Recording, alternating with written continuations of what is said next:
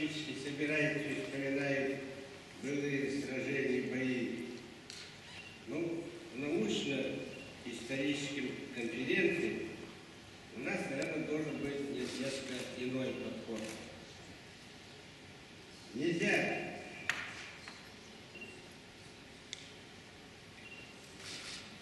каждый год все эти собрания, конференции превращать в торжественные собрания, сводить их к чтению лекций друг другу по известным вопросам.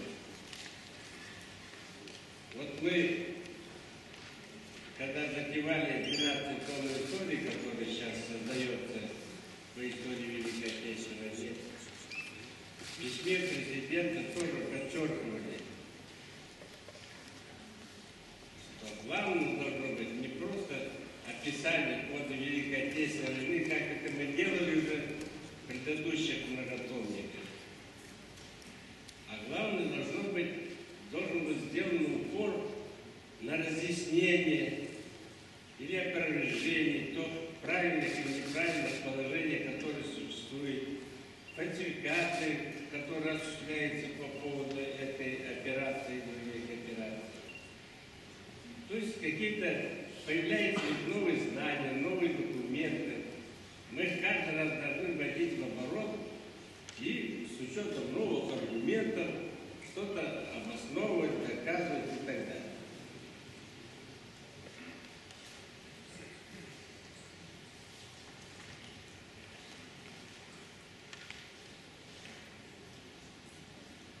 Каждый год, каждая новая конференция, научное обсуждение должно продвигать нас вперед ну, более глубоком познании исторических событий того времени. А главное, наверное, состоит в том, чтобы извлекать уроки и военно-политические, и стратегические, и по многим другим вопросам для сегодняшнего дня.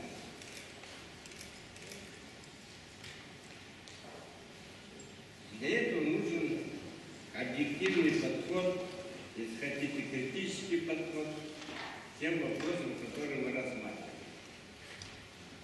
В этом году мы отмечали 200-летие Бородинского сражения.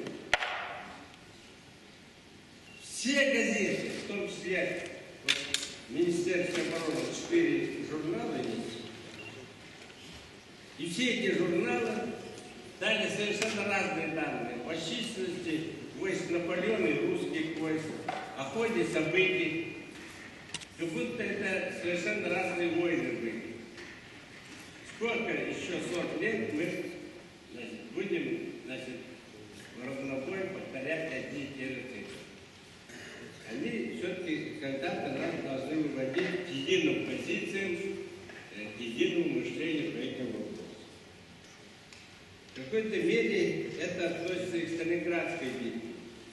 Поэтому я хотел бы прежде всего остановиться на вот таких вопросах Сталинградской операции, которые вызывают различные толкования и, может быть, разъяснить, дополнительного объяснения и разъяснения. Во-первых, всем понятно, и тут Александр Иванович правильно об этом говорил, Сталинградом была одержана величайшая победа, которая предопределила весь дальнейший ход Второй мировой войны.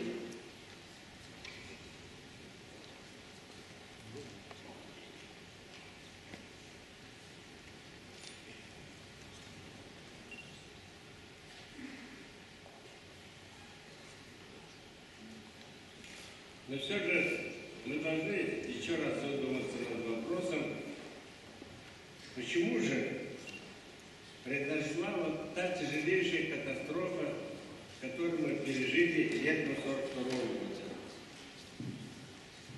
Ведь если в 41 году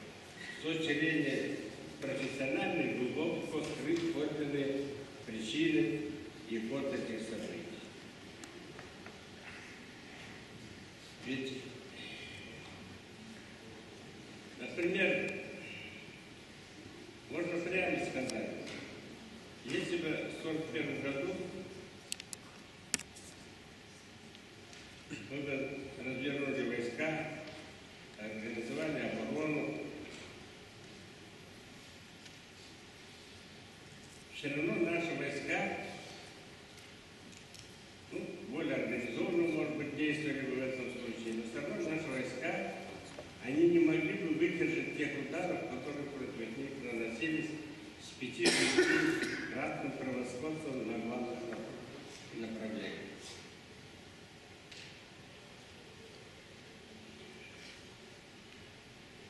Дело в том, что вы сравните, вот какую оборону мы могли занять в 1941 году с нашими стрелковыми дивизиями, механизированными корпусами, и какую оборону организовали мы потом под Курском в 1943 году. Оборона под Курском была создана уже на глубину 250-300 километров. Высочайшая плотность противотанковых средств, артиллерии 10-15 раз выше, чем вы могли, даже если бы все успели вовремя сделать, что мы могли бы создать в 41 году. И все равно полосе Воронежского фронта в 43 году немецкие войска продвинулись на глубину 35 километров вышли на армейский оборонительный рубеж.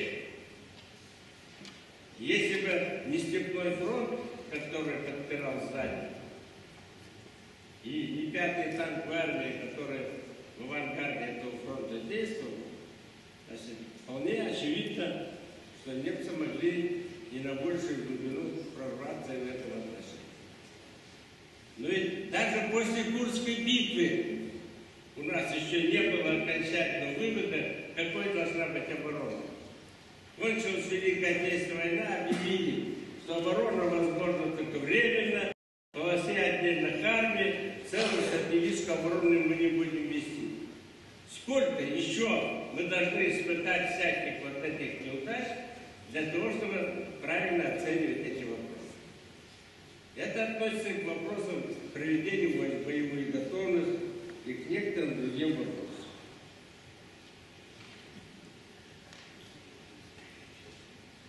Когда весной 42 года обсуждались планы на летний период 42 года, вы знаете, что Жуков, Василевский предложили тогда, в 42 году, перейти к стратегической обороне. Тимошенко там предложил свой удар нанести под Харьков. Сталин сказал, то, что предлагает Жуков, наверное, полумера. Не сидеть нам, не сидеть же нам, сложа руки в обороне. Вот такое представление, что оборона это сидеть сложа руки. К сожалению, до сих пор у нас сейчас существует.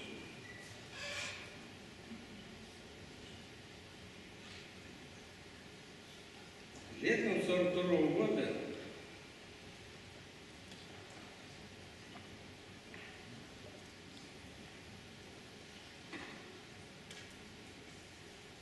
Мы потерпели поражение в целом там, на юге. Пришлось вести длительное отступление. Противник главный удар и летом 42 года наносил на юго-западном направлении, а основные силы были сосредоточены на московском направлении. Ведь вот обратите внимание, скажем, на такое обстоятельство. Директивы Ставка Верховного командования ответственность за обеспечение стыка с, Юго-Западного фронта была возложена на командование Южного фронта. Южным фронтом командовал Малиновский. Начальником штаба фронта был наш выдающийся штабист Антон. Сейчас подготовили в связи с 250-летием там, генерального штаба книгу о начальниках генеральных штабов. Каждого начальника генштаба описывается биография. Там ничего нет этого. Антонов, он начальник штаба фронта, он прежде всего отвечал за то, чтобы разведка была поставлена. В полосе Южного фронта сосредоточилось шесть танковых дивизий противника. Все это проглядели. Фланг Юго-Западного фронта не был обеспечен. Ни в одной энциклопедии, ни в биографии Антонова или Малиновского это вообще ничего не говорится. Это действительно выдающиеся люди, они, у них и большие заслуги, они победы одерживали. Но если мы хотим объективно изучать историю, действительно уроки здесь, мы же не, не, не должны мимо всех этих вещей проходить. Иначе новые поколения ничему на нашем, по нашим урокам уже не выйдут.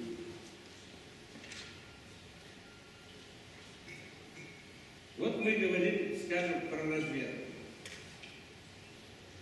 Одно время в Красной Звезде, еще 80-е годы в начале, появилась статья начальника главного разведного управления генерала армии Вашингтона. Он написал, что через две недели после того, как Гитлер утвердил план Барбаросса, этот план лежал на столе товарища Сталина. Ну, было у нас узкое совещание начальника генштаба с его заместителями. Там я сказал это. Но если такой план был, его же не сожгли, наверное, он где-то у вас хранится или во внешней разведке. Ну покажите нам, где этот план Барбаросса, который лежал на столе у Сталина. А никто ничего не нашло. Через 2-3 месяца, ему дали 2-3 месяца, и после этого, а ничего нет. Есть шифровка о том, что немцы могут наступать в случае войны на Ленинградском, Московском, Киевском направлении. Если школьнику сказать с запада, если наступать на восток, по каким направлениям, он ничего не придумает, как Киев, Москва и там, Ленинград. Конечно, никакой не план вокруг. Характерно, что вот сейчас издаем 12 тонн истории, там приводится план Барбаросса, и он нанесен на нашу советскую карту. Ведь если это план Барбаросса, наверное, он должен быть на немецкой карте, если это подлинный документ. Вот такая примитивная компания в истории вместо исторических исследований, они не продвигают нас вперед во всем этим вопросам.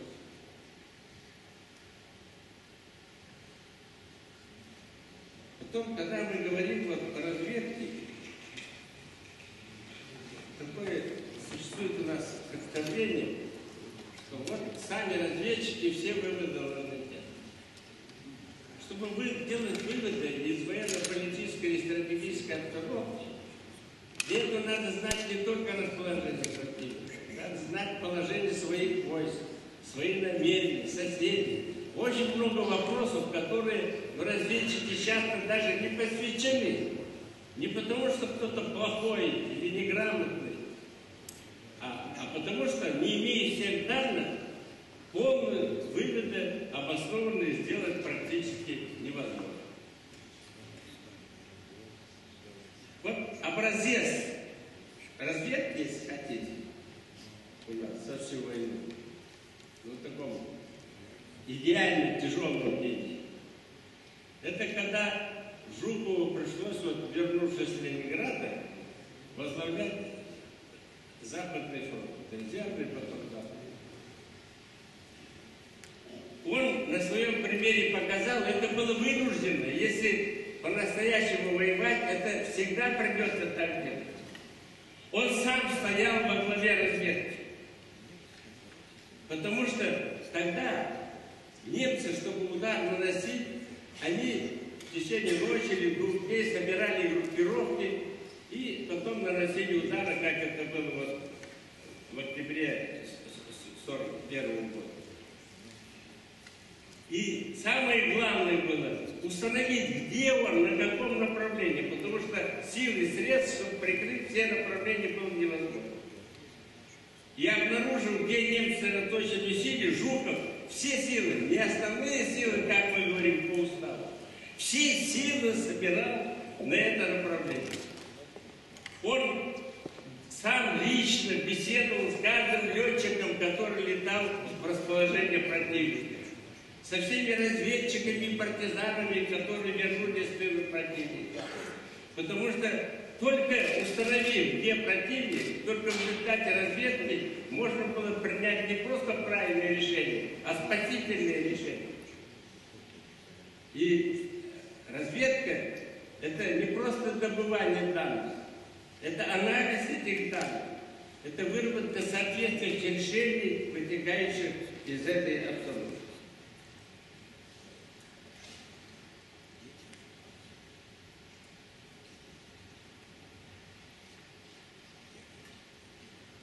Ну, Сталинградская операция, тут многие вопросы уже освещены, они хорошо известны.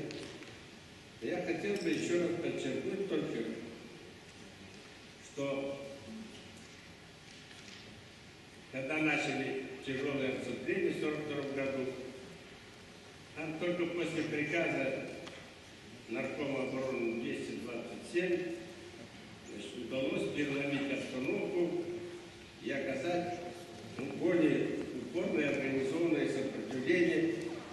наступающим немецким австрийским войскам.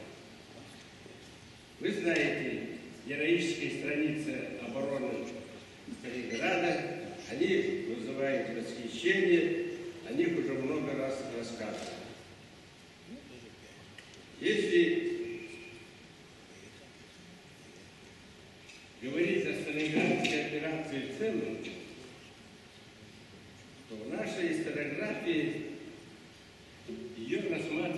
несколько сужен. Вот то, что нарисовано на этой вот наглядной схеме,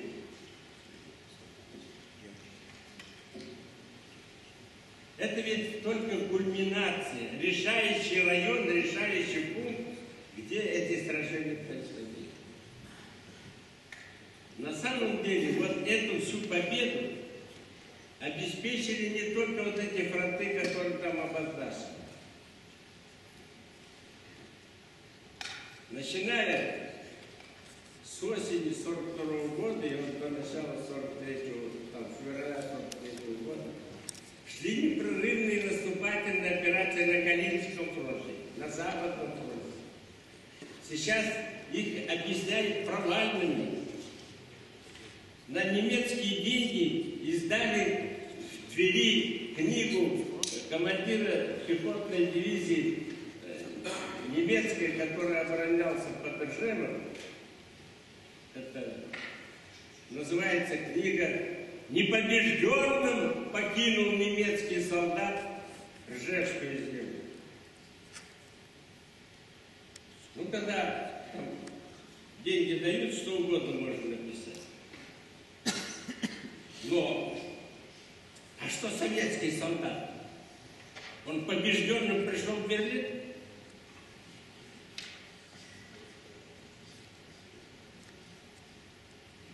И все же немцев и Ржевом разгромили, освободили, всю центральную группу войск разбили, целый ряд наступательных операций, пришли в Берлин.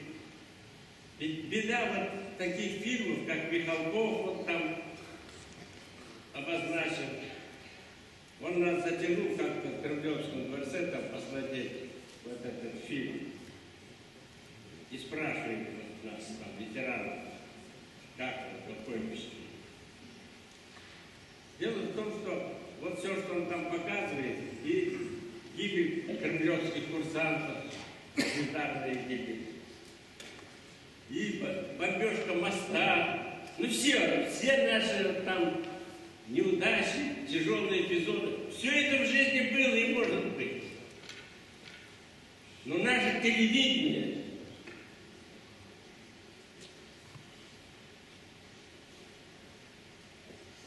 Владимир Ростиславович,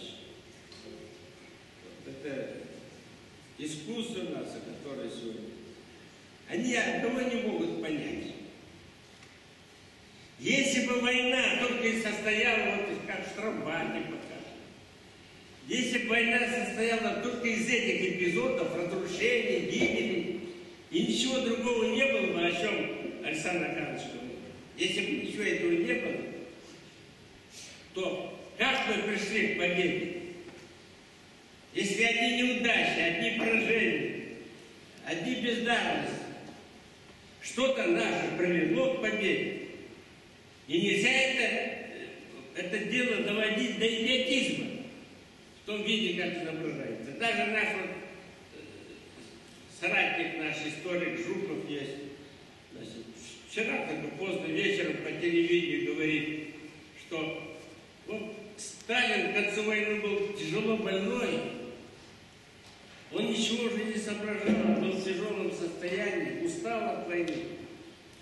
И когда Жуков к нему начал приставать, дайте мне возможность взять Берлин, он говорит, ну ладно, хочешь брать, бери, поэтому Рокоссовского брали Что мы узнаем из истории, если известные наши историки так примитивно толкуют эти вопросы? И это относится к многим вопросам э, Сталинградской битвы. Ведь мы, когда говорим вот Курской битве, кстати, Курске вообще никаких боевых действий не было. Это условное название. Это, раньше, кстати, сразу после войны называлась Орлова-Белгородская операция. Ну, бог с ним. Вот эта операция получила название Сталинградская. Но, я еще раз повторяю, это часть грандиозной стратегической операции, которая шла по существу на всем Германско-Советском фронте и э, завершилась вот этой победой. И если бы, например, там немцы собирались 12 дивизий перебросить с Западного фронта под Сталинград, но не смогли ни одной дивизии перебросить. Наоборот, с запада две дивизии под Ржев подбросили. И там никакой дом Павлова, ни Чуйков, никто ничего там не могли бы сделать, если бы не усилили других фронтов. Я еще почему Александр Аркадьевич говорю вот этих людей, которые сражались, были ранены под Ржевом, там, вообще на Западном которые участвовали в этих сражениях, прибыли резерв, их даже не приглашают на эти Сталинградские как будто не было. Если мы отмечаем эту операцию, надо хоть в какой-то мере это, все, кто имел к этой операции отношение, всех приглашать, всех отмечать, иначе мы никогда не узнаем подлинную историю такой, как она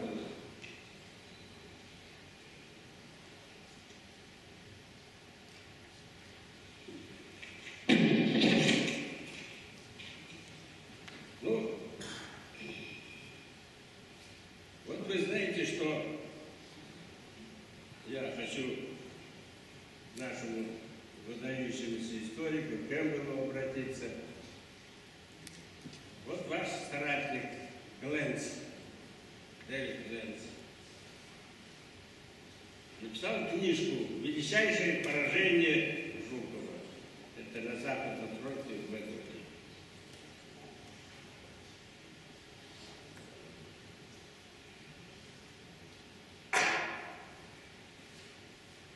И вот в результате этого поражения мы пришли потом в Берлин.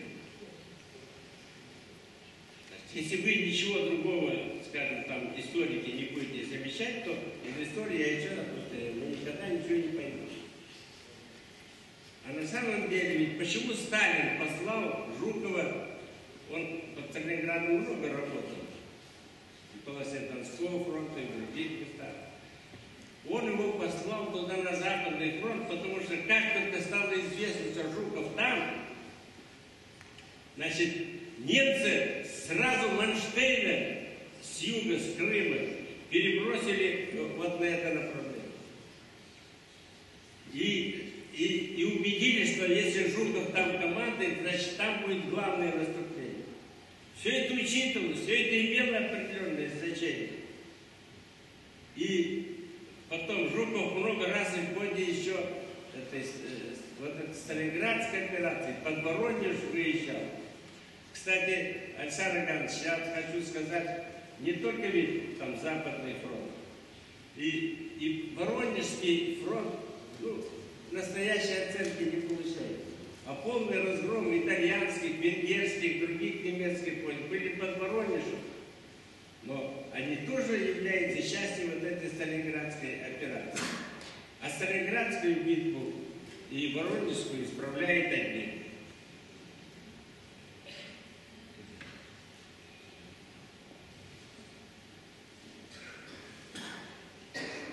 Вообще, если, как у нас пишут некоторые историки, мы воевали бездарно, полководцы наши тоже были никудышными. Если мы терпели одни поражения, а немцы все делали правильно, вот тогда невозможно никакому школьнику, никакому учебнику объяснить, почему же немцы потерпели поражение, мы все-таки одержали победу. Надо все-таки показывать, что нас привело к победе все недостатки, неудачи, то, тоже не стесняться описывать. Но в конце концов, главным должно быть то, что в жизни случилось, что является историческим фактом, что привело нас к победе. В том числе и вот те, те, те боях, которые были э, под Сталинградом. Конечно, все эти победы были добыты очень тяжелой ценой, но еще раз повторяю, на Западном фронте, и под Сталинградом они не были напрасны. Теперь в истории Сталинградской битвы один еще вопрос поднимается, без конца его мусолят. Значит, это вот 21-ю армию Малиновского, который из резерва поступил уже в ходе Сталинградской битвы, Рокоссовский и другие очень просили, чтобы эту армию дать в распоряжение значит, Донского фронта, и чтобы эта армия прямо оттуда на юг, на Ростов наносила удар. И вообще были такие предложения, окружение вот это все э, сделать, ну, завершить в Ростове и грандиозную группировку окружения.